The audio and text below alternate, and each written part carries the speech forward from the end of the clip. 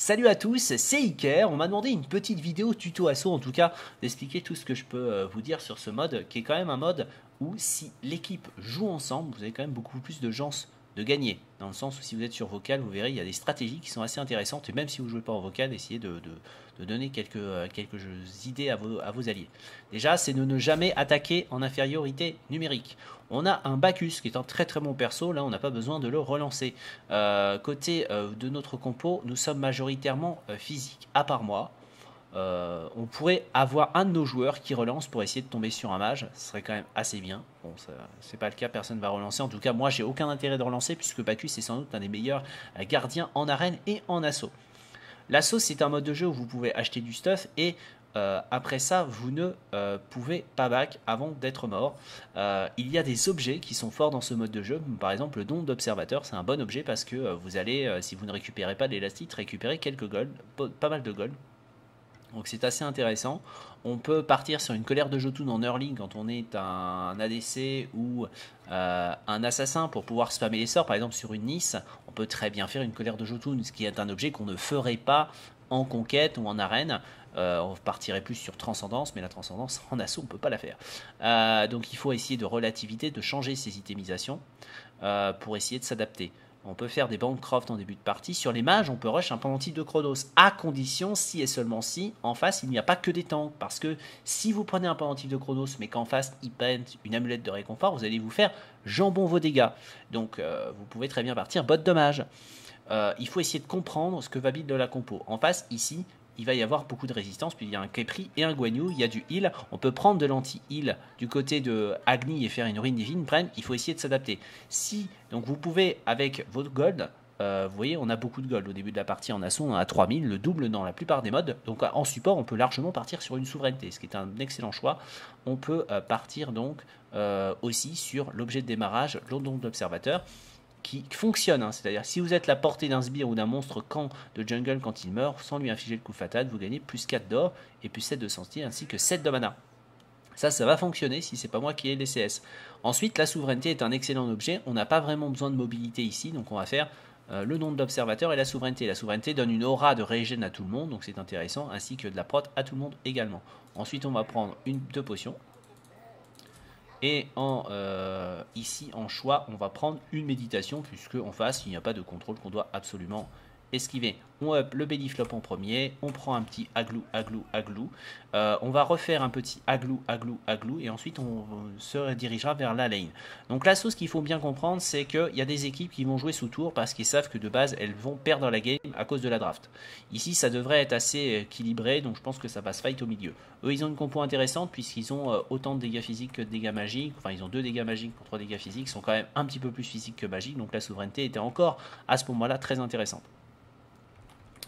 Euh, euh, c'est parti. On arrive un petit peu à la bourre, mais bon, tant que les sbires sont pas encore là, c'est bon. Euh, on a un Zeus dans notre équipe, un Agni, une Nice, donc finalement l'équipe a été assez bien rééquilibrée, j'avais même pas vu.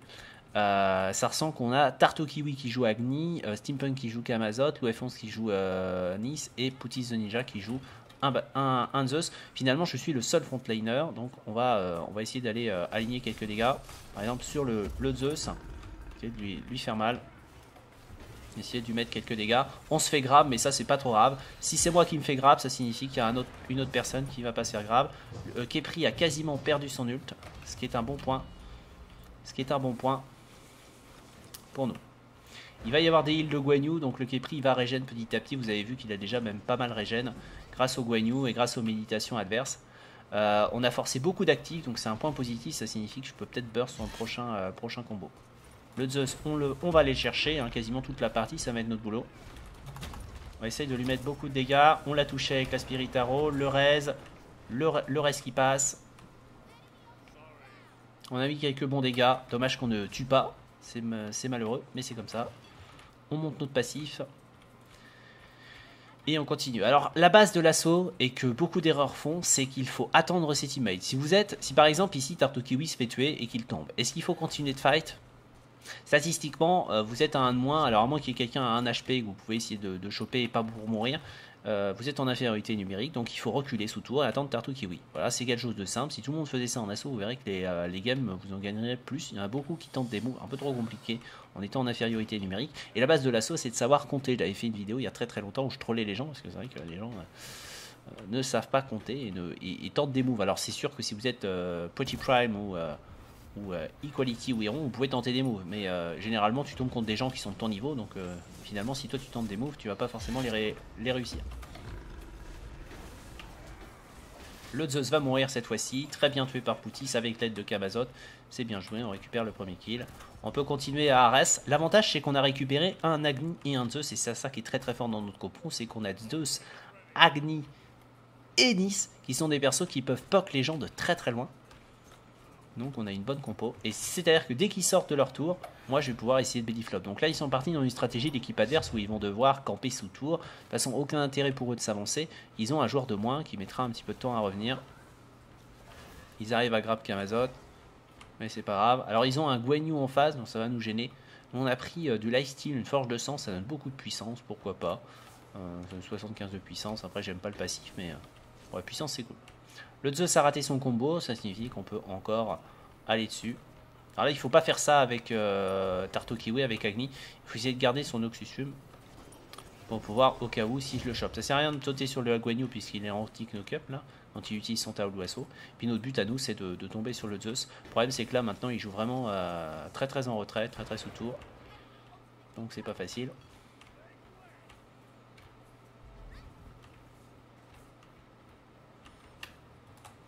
Hop. On va aller sur la, sur la. On va essayer de burst encore. Il y a eu beaucoup de méditations qui ont été claquées. Ça recule. Les deux ults ont été claqués. On monte le combo. La cavalerie charge de Guanyu. Normalement on tank. On va garder pour le moment notre combo. On va essayer de burst la Wulix. C'est fait. On gêne un petit peu le Kepri. On a le, on a le reste qui a été mis sur le Susano. Il se fait stun. Il claque son dash. On va mettre une petite médite là. Ça permet à tout le monde de bien régène. Donc pour le moment 2-0. Dommage, la Spirit Arrow qui a été euh, ratée. On arrive avec nos up de personnes. On met les dégâts sur le Zeus. Il a pris deux charges. Il s'est fait médite. Hmm.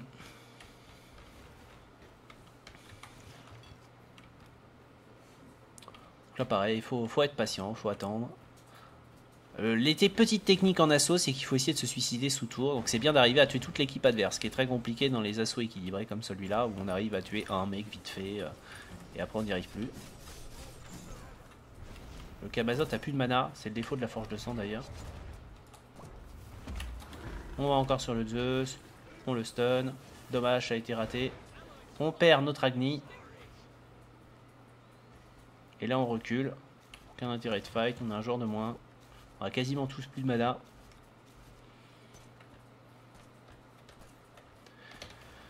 Donc là, faut attendre, faut être patient. Il faut pas fight.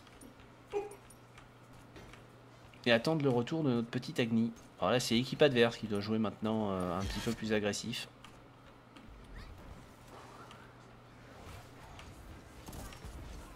Donc on attend le retour de Tarto Kiwi et puis on va y retourner tout simplement dans le fight.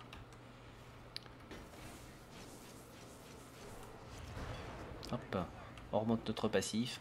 On a Tartor Kiwi qui est de retour. On va d'abord clean la wave parce que les sbires ça fait quand même quelques dégâts. Même si on est en début de partie comme ça. Et là, euh, on va y aller.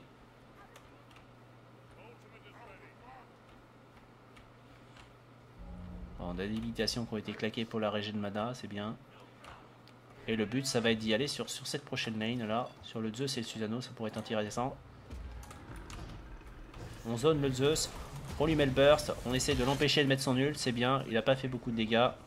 On s'en sort bien, on zone un petit peu le Susano qui va mettre son typhon.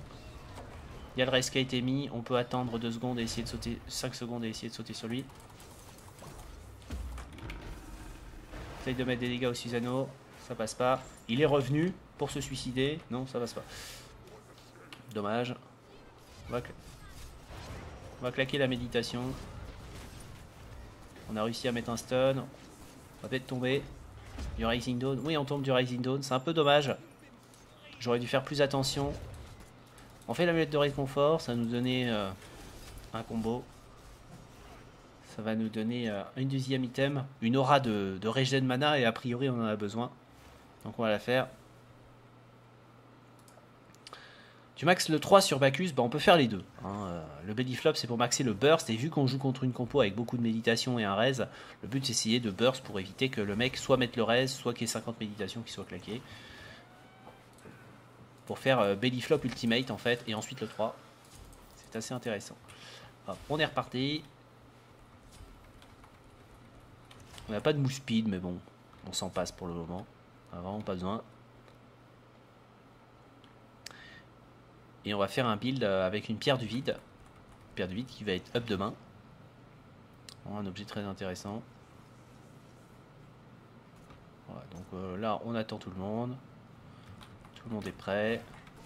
On va remonter notre, notre passif et on va commencer à aller chercher les gens. On quelques dégâts. On va aller sur la on a forcé le jump d'Awilix, c'est pas mal. On va aller chercher le Zeus, il avait l'ulti. Mais vous voyez, il décide de nous taper nous. Très bonne Spirit Arrow, c'est bien joué. On va mettre des dégâts. Le Susano. Boom, le Zeus. On a réussi à tuer le Guanyu qui était sous tour.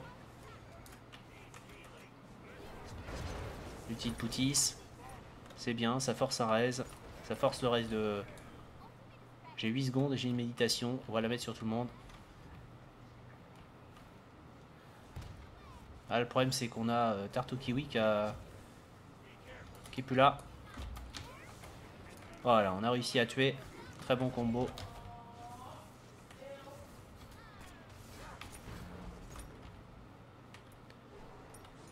Va falloir essayer d'attaquer, ouais.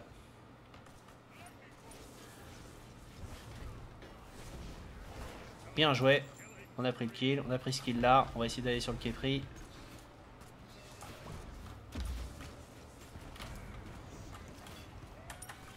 Allez, on tank. Il faut vraiment attaquer, je pense. Le problème, c'est qu'il y a le Guanyu qui est revenu.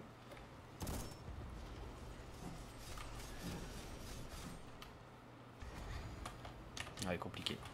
Compliqué. Pour essayer de, prendre cette tour, ça serait bien. Salut euh, Jojo la pêche. Ça va très très bien et toi? Comment ça va bien? On peut régénérer les gens avec euh, la souveraineté et l'amulette de réconfort. On s'est fait gras pour faire attention. On a mis un ulti. On burst. On prend un kill. On s'est fait ramener par Willix mais c'est pas trop trop grave. Globalement, on tient. On va tomber de l'ulti Zeus. Double kill. Dommage.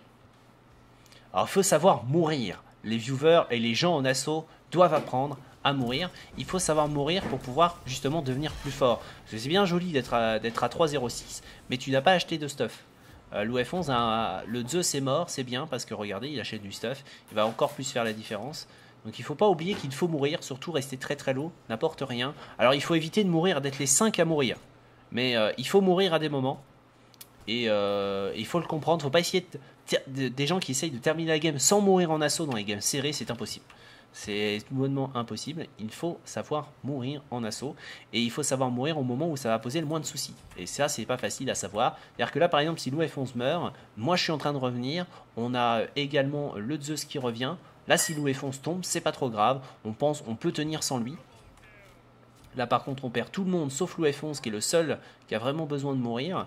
Et là, il peut plus mourir parce que justement, on est en infériorité numérique. Le Zeus a mis un petit peu de temps à choisir son stuff. Ça nous met un peu dans la merde parce que normalement, il aurait dû arriver en même temps que moi. Euh, il n'est pas là. Là, il aurait pu complètement zoner les adversaires et empêcher les adversaires de prendre la tour. Mais Zeus arrive en retard. Et donc, on ne peut pas défendre cette T1. Et résultat, ça peut snowball par-dessus. S'ils arrivent à nous tuer, On peut essayer de mettre des dégâts. Alors là, il faut éviter d'y retourner comme ça dans les fights. Maintenant, on retweet. Maintenant, on retweet. Je vais mourir du detonate. Là, c'est le souci, c'est qu'on s'est complètement désynchro, que l'UF11 n'est toujours pas mort avec Sanis et il a 3-0-6. Il faut qu'il meure. Et euh, il ne meurt pas. Et donc là, il sert à strictement à rien en défense parce qu'il n'y a, pas de dégâts. Et on s'est désynchronisé. Donc euh, c'est dangereux. Il faut, que, il faut que tu meurs. Il faut que tu meurs avec Nice et les autres, on doit plus mourir.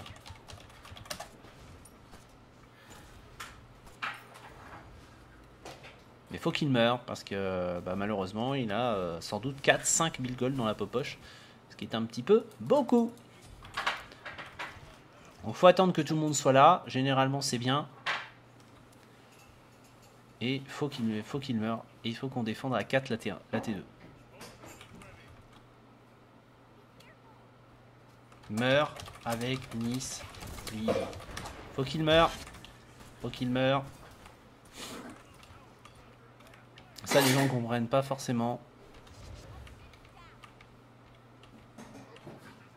on va voir s'il va écouter déjà. Déjà, essayer de, de vous dire que si les gens vous écoutent pas en normal, et moi en game viewer, si on m'écoute pas, c'est pas grave. Faut qu'il meure avec sa Nice. T'as combien de gold?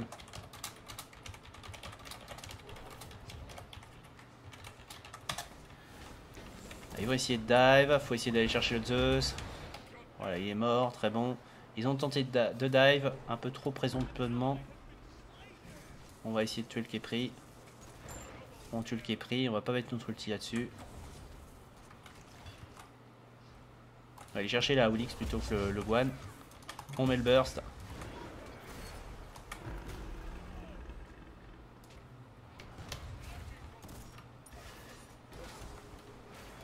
On a un AFK. Steampunk, il est où? Steampunk est là. Ouais, il a, déco. Dommage. Faut mourir avec Nice. Compliqué, hein? Compliqué, compliqué. Même si là, c'est très très dur pour qu'il meure. Parce que euh, on a un joueur de moins. Bon, c'est moi, il est mort. Mais on a un joueur de moins. Donc forcément, on va avoir du mal à défendre cette T2. Avec euh, Steampunk Kadeko. Là, vous allez voir, il va pouvoir acheter du stuff. David Guerrier, je pense qu'il va finir à 3, 3 objets, c'est sûr, et le début du quatrième. Alors, c'est vrai qu'on pourrait essayer d'attaquer. Maintenant, faut retreat. Maintenant, faut retreat. On a réussi à tuer quelqu'un, c'est très bien. On a réussi à tuer quelqu'un, c'est bien. Simpunk est de retour. On grappille du temps.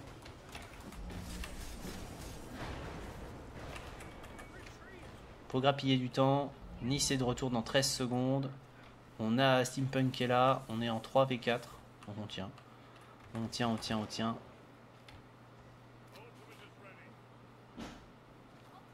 Ah, attendez. Nice. Dit d'attendre Nice pour qu'on soit en 4v4. Là, ce qu'il faut, c'est juste des push très très vite pour qu'il ne puisse pas clean la wave. Enfin, qu'il ne puisse pas taper la tour. C'est bien, c'est fait. Kepri qui met son combat. Combo. La Nice est de retour. On y va. Là par contre, faut y aller. Faut zoner le Zeus. Le Zeus me tape moi. Ce qui est donc assez rentable. Le Susano qui est en train de morfler. Qui tombe de la Nice. C'est bien joué. On a pas mal zoné les adversaires. On va aller chercher le Zeus. On l'a eu, dans l'outil. Il prend pas mal de dégâts. Il tombe. Bien joué de la part de Poutis. Très bon combo. Là, Willix qui ramène, dommage pour Tartukiwi. Là, il faut, va vraiment falloir attaquer avec la prochaine lane. On attaque avec la lane. Très bien. Hop. On va chercher le Kefri, la Nice. Et là, c'est bien. On prend T1, T2. Et on réattaque direct avec le repop de certains alliés. Allez, on push. La T2 maintenant. C'est très très bien. C'est comme ça qu'on réalise les assauts. C'est en synchronisant et en faisant moins d'erreurs que l'adversaire, parce que les adversaires font souvent des erreurs. On peut attaquer les phoenix maintenant, essayer de le faire tomber rapidement.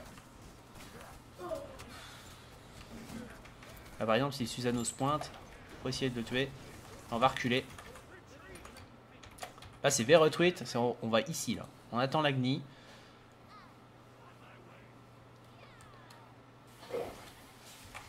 la meilleure façon de gagner ici, c'est de retreat. On a 2000, 3000 gold, donc c'est un peu dommage. Mais on va tenter de gagner comme ça. Euh, il faut s'attendre tous.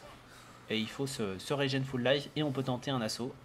j'ai une méditation. Je vais pas la claquer peut-être tout de suite. Si on la claque tout de suite, allez. Et là, on tente le fight avec les sbires enflammés. Et on tente le fight. Et là, si on le gagne, eh ben on a gagné la game. Donc, euh, c'est maintenant ou jamais. Alors, on peut se faire repousser parce que eux, ils ont acheté du stuff. Vous voyez que globalement, ils ont un petit peu plus de stuff que nous. Mais, mais nous, on a les sbires enflammés avec nous. Donc, on peut, euh, on peut y aller. On peut y aller. Et on va sur le Zeus directement. Voilà, comme d'hab. On lui met de la vie dure. On le stun dedans. Il tombe. Très très bien joué. Maintenant, on peut pile pour tuer le Susano. C'est très bien joué. Et maintenant, il faut aller tenter le fight sur la Wilix principalement, qui est le joueur qu'on n'a pas envie de qu'il fasse des dégâts. Les tanks vont finir par tomber, hein, ils tankeront pas suffisamment longtemps. La Wilix ne DPS pas. On va tuer les tanks, c'est bien, on se fait ramener, tant pis, on est, on est là pour prendre les coups, on est un peu de chimball nous, on est Bacchus. Et on continue. Ça vient d'arriver à tuer le Guanyu. Dommage. On tue pas le Guanyu, faut push les sbires, les gens. On va pas push les sbires, ça va être très très difficile de terminer. Hein. Là, on est en train de, de throw. Il faut toujours attendre le sbire, les gars. Là, vous avez voulu tenter un truc très compliqué. Hein. Très très compliqué. Faut attendre les sbires. La Olix va être stun. On la tue. Le Zeus est là.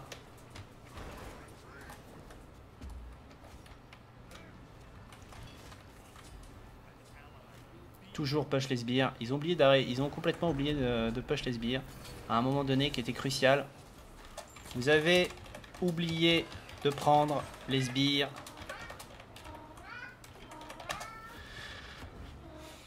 Et on aurait terminé. Hmm, donc euh, encore une nouvelle fois une petite erreur qui permet de, bah, de le voir, hein. comme ça les gens sont au courant. Il faut pas euh, oublier les sbires. faut reculer. Le Zeus ne prendra pas le kill, l'OF11 peut tenir. Euh, le Kamazot est de retour, le Zeus est de retour. Essayer de temporiser. Euh, on peut prendre limite un élixir. Hein. Le don de l'observateur ne servira à rien puisque, à mon avis, on va terminer la game sur ce push. Ou on va perdre la game sur le prochain push. Blue ne meurt pas. Faut pas qu'il meure là par contre. Faut qu'il attende tout le monde. Attendez tout le monde. Quitte à perdre la tour. À perdre la tour. Euh, faut pas mourir en fait, faut attendre tout le monde. On claque l'élixir, on achète trois potions. En fait la tour on s'en fout. Et là regardez, ils commettent une erreur, faut pas forcément attaquer. Je suis pas là, ils sont en égalité, on est en égalité numérique parce que ils sont en égalité numérique puisque Zeus n'est pas mort, mais l'UF11 il est tellement low que c'est vraiment compliqué de vouloir essayer d'attaquer maintenant. Vaut mieux essayer de régénérer un petit peu l'UF11, voilà. Et là on attaque. Là, on attaque parce que le Zeus n'est pas là. Hop. On a mis un proc de moissonneur. Alors, ils ont commis une énorme erreur parce que leur Zeus n'est pas là, qui est leur principale source de DPS. Ils peuvent tenir un petit peu grâce à... Oh, le Keprik a complètement abandonné son Susano. Donc, très bien, très bon post positif. On sait que le Zeus est en train d'arriver, il est là. On va essayer de ressauter sur lui. Ou sur la Olix. On retombe sur le Zeus plutôt. Le Kepri a pris pas mal de dégâts. On va chercher le Zeus. Et on a globalement gagné s'il push les sbires. Là, faut prendre les sbires, faut taper les sbires. Taper les sbires, ne jamais oublier les sbires, ils sont très importants. Et on va réattaquer. Le Zeus est mort. Voilà, on va chercher la Wilix qui est le deuxième, gros, deuxième gros DPS derrière. On fait tomber ce Phoenix. Il faut tuer la Wilix, il jump in. Et on peut terminer la game maintenant. Allez, on tank nous.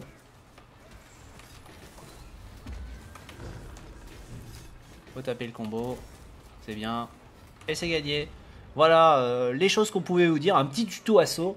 Euh, il faut euh, essayer d'être avec ses teammates, ne pas prendre de, ne pas prendre d'initiative solo, jouer soudé, mourir quand il faut pour pouvoir acheter le stuff. Ça sert à rien d'avoir 5000 gold et d'être à zéro mort au bout de 20 minutes. Hein. Vous risquez de faire perdre votre game, à moins que vous jouiez un perso qui peut s'en passer.